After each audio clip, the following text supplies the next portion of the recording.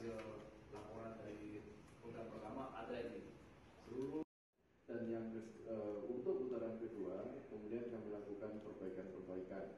Nah perbaikan itu meliputi dengan nanti akan ada perubahan format uh, debat yang sekarang sedang disiapkan oleh tim. Kami sudah membentuk tim uh, para ahli yang terdiri dari berbagai perguruan tinggi dan juga profesional untuk menyiapkan format debat yang baru termasuk juga tema yang sedang dikaji. Terima kasih Ketua KPU telah menjelaskan beberapa hal yang uh, hasil rapat tadi. Dan memang diberikan kewenangan oleh uh, undang-undang untuk menjaga itu. Uh, kaitan pidana yang jelas kami menjaga dari hal-hal apa saja yang memberikan kenyamanan itu terganggu bagi pemilih. Pemilih siapa saja? Pemilih pasangan calon nomor dua kan, nomor tiga kan.